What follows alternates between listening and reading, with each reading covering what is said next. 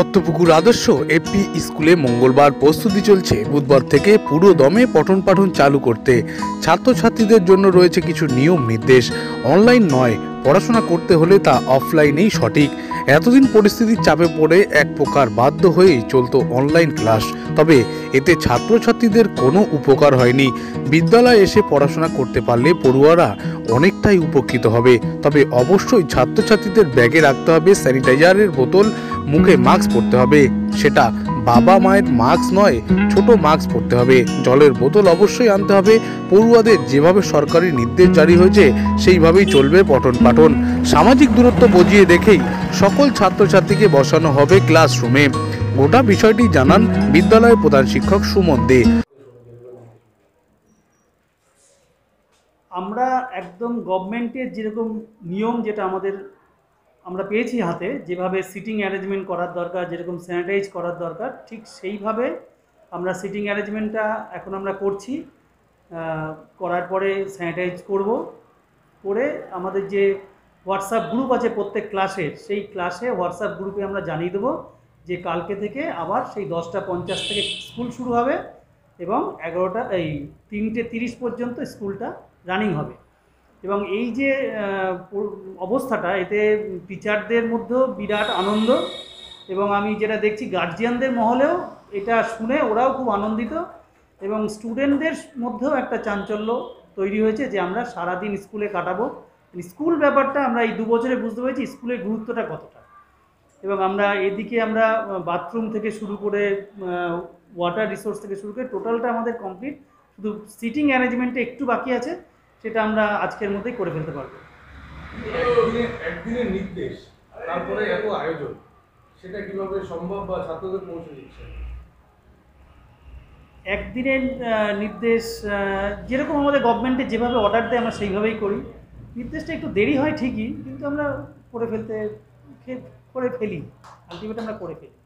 এতদিন তো ছাত্রছাত্রীরা আসতো স্কুলে ঢুকতো আপনারা ক্লাস করাতে হ্যাঁ। এই করোনার জন্য গতকাল থেকে অন্য কোনো আপনারা নির্দেশিকা দেবেন স্কুলের মধ্যে?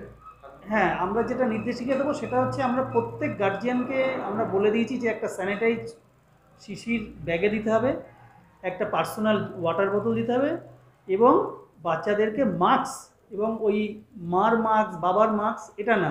ছোটদের ছোট মাস্ক দিতে হবে। কারণ আমার মাস্ক যদি আমার ছেলে পড়ে আমার মা মুখের যে আকৃতি, তার থেকে ওদের আকৃতি অনেক ছোট। সেই জন্য ওরকম একটা মাস্ক দিতে হবে এবং ওদেরকে এটা বলতে হবে যে সোশ্যাল ডিস্টেন্স যেন সবসময় মেনটেন করে। কারণ বাচ্চারা বাচ্চাদের মতো থাকবে তার থেকে একটুখানি ডিস্টেন্স গার্জিয়ানদেরকে বলেছি আপনারা এটা শেখাবেন।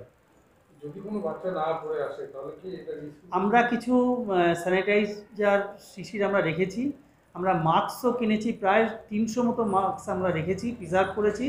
যারা ওই সময় নিয়ে আসতে পারবে না বা ছিঁড়ে গেল বা পড়ে গেল সঙ্গে সঙ্গে আমরা এই যে পাড়ার শিক্ষালয় যেটা চলছিল তার মধ্যেও আমরা দিয়েছি। শেষ প্রশ্ন পাড়ায় যে শিক্ষালয় যে ব্যবস্থাটা শুরু করেছিল সেখান থেকে আবার স্কুলে ফিরল। এতে ছাত্রছাত্রীদের কতটা উপকৃত হবে? কারণ এই যে স্কুল করাতে ছাত্রছাত্রীদের বিরাট উপকৃ- উপকার হবে। পাড়ায় কী হয়েছে? পাড়ার শিক্ষাটা থেকে কী হয়েছে? ওদের মনে যে একটা ভয় তৈরি হয়েছিল যে স্কুলে যাব আবার স্যাররা কী বলবে? সেই ভয়টা এই সাত দিনে ভেঙে গেছে। এবার স্কুল হলে পুরোপুরি ওরা স্কুলটাকে ভালো করে নিতে পারবে। কারণ বাবা মার কাছে যেটা পেয়েছে শুধু না হ্যাঁ কোনো সময় পায়নি। আর শুধু বকা খেয়েছে সেইটা থেকেও ওরা অনেকটা আনন্দিত। এই অনলাইনে ক্লাস থেকে স্কুলে ফিরল এতে কি সুফল হলো না কুফল হলো? অনলাইন ক্লাসটা অ্যাকচুয়ালি পড়াশুনোর কিছুই হয়নি আমার যতটা ধারণা। অফলাইনটাই মেন কারণ আই কন্টাক্টে যে বাচ্চাদের সঙ্গে আমরা যেটা বুঝি ওই বাচ্চাটা বুঝতে পারছে না আবার রিপিট করি। কিন্তু অনলাইনে তো সেটা হচ্ছে না। আমরা আমাদের মতো বলে যাচ্ছি ওরা ওদের মতো শুনছে। আলটিমেট পড়াশুনো আমার যতটা ধারণা আমার যে অভিজ্ঞতায় অনলাইনে পড়াশুনো হয়। একদম একদম। আপনার নাম? সুমন দে।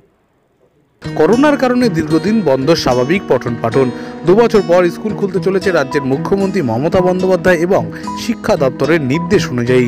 আর এই নির্দেশে পাওয়ার পরেই উত্তর চব্বিশ পরগনা জেলার বারাসাত এক নম্বর ব্লকের দত্তপুকুর আদর্শ এপি স্কুলের সকাল থেকেই প্রস্তুতি শুরু হ্যাঁ আমরা তো আশা করছিলাম স্কুল যাতে তাড়াতাড়ি খুলুক বাচ্চারা রেগুলার স্কুলে আসুক। আমরাও খুশি বাচ্চারাও খুশি।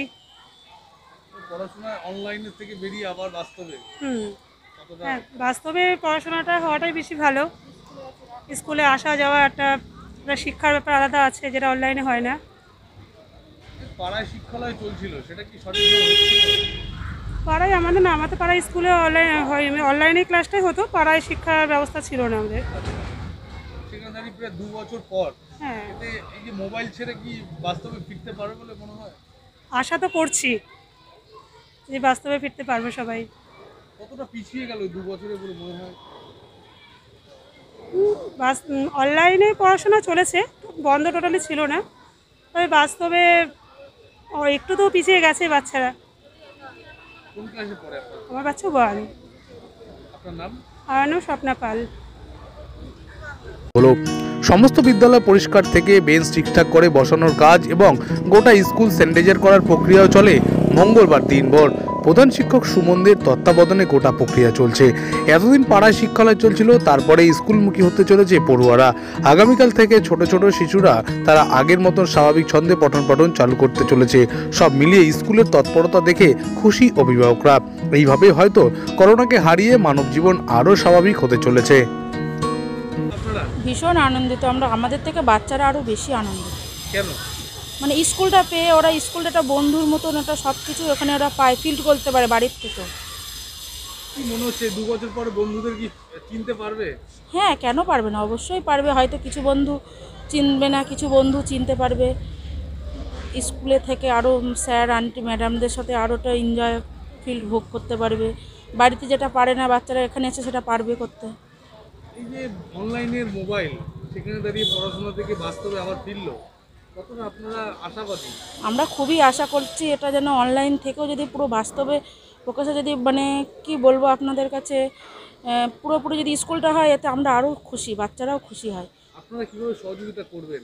মানে স্কুল থেকে তো বলছে মাস্ক স্যানিটাইজার দিয়ে পাঠাতে। হ্যাঁ আমরা সব কিছু দিয়েই বাচ্চাকে পাঠাবো।